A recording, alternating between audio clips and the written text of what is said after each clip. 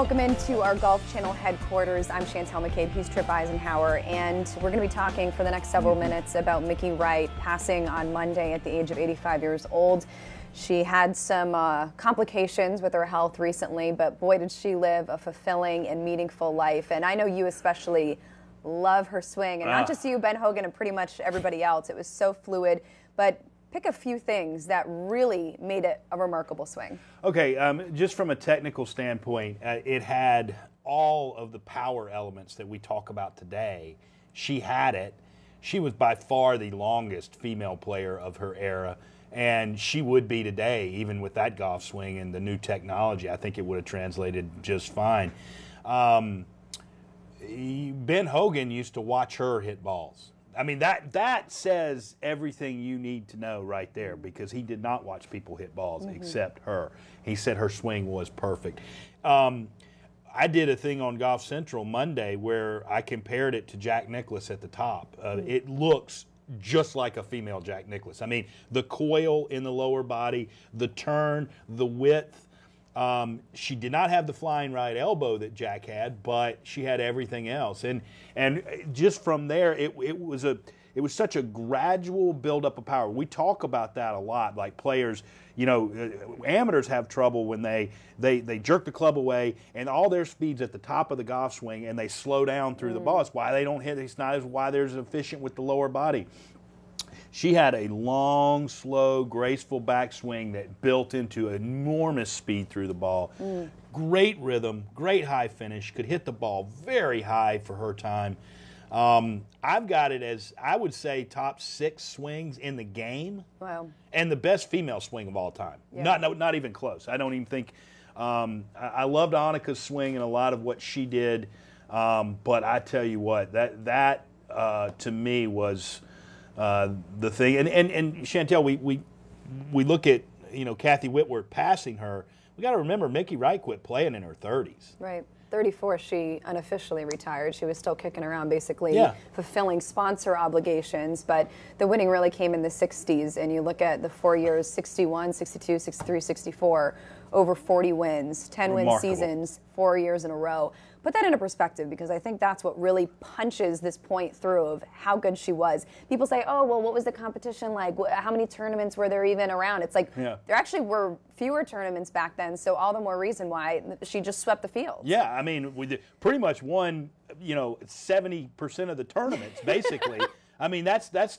I mean, that would be you know equivalent of uh, somebody going out and and and winning you know 20 times on the PGA Tour. Yeah. I mean, that that would be the equivalent, or even more than that, really. Mm-hmm. But and it was funny because Kathy Whitworth, we we we talked to her on Monday on Golf Central uh, through the phone, and and very gracious Kathy Whitworth, and what she she basically said, you know.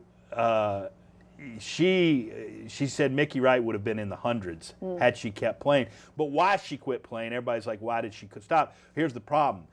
Because the tournaments all wanted her. She she mm-hmm. if there was a tournament, they demanded her be there, right. and she was so um, you know, uh, she was so respectful of that, and she did show up, and yeah. she got burned out. Basically, yeah. that's that's what it was. She said this quote to Golf Digest several years back. It wasn't the years; it was the mileage, yeah. and I thought that was that's so it. revealing. And for what people don't think about with the fame, especially when it wasn't a flashy or sexy thing to do, being a professional athlete no. in general, let alone a female. Like, think about that era in the '60s. You were a wife. You were a household person we know how different the culture is now. Yeah. But imagine being as bold as her. She just loved the game. That's why she played. But then to have all these obligations, to feel the pressure of things now that we take for granted. Yeah. But maybe you could, exp- I know you weren't playing in that era, but maybe give us some context to what that actually looked like. Well, I mean, for it's hard for me to say. I mean, just from things I've read and things that, that you hear and other people have said, the fact that she it was for the love of the game. Yeah. That's what it was because back then it wasn't about the money. Mm-hmm. I mean, you know, and and no even in the men's game, it wasn't really about the money at that point. It, I mean, it was about the records and the competition and the thrill of that. And I think that you know she thrived on that. I mean, she loved that. She was a very introspective, very quiet person. She yeah. was not you know, a, a big personality by any stretch of Which the stinks because I think that now hurts when we talk about her and look back in history. Like you would think somebody with her caliber and her resume, this would have been talked about at nauseum on sports networks, sports stations, Yeah. sports programming. But it's the fact that not only the era, but maybe her personality kind of hurt her in a way for the way that we recognize her, which stinks because we should be basing a professional athlete on their professional resume, Yeah. not how charismatic they No, are. What do you think about that? Well, uh, look, if we're going to talk professional resume, I think one of the greatest female athletes of all time for her sport. I mean, there's no question about it. I think I think you could look at at uh, certain players in tennis, Martina Navratilova. Um, you, you you look at uh, you know Serena Williams. Um, she is that kind of transcendent female athlete, and um, yeah, the, the the personality. The, it might have hurt the marketing aspect of it, but you know what? It didn't hurt the accomplishments because, No. good gosh, she is highly accomplished. And, Right. uh, she will be missed, and uh, there is a, a little bit of a hole. But she did say in, a quote, she said, "When I'm in heaven, I want to be there with a two iron in my hand at Sea Island, and I'm going to hit the green." And I guarantee you, she has. Oh my goodness. Well, she was still practicing Yeah. in her most recent years, and she revealed uh, recently that she was still watching golf and uh, actively talking to some girls out on the LPGA, Good continuing to grow the game. Not only a founder, but a very influential person in the game of golf as we honor and remember Mickey Wright.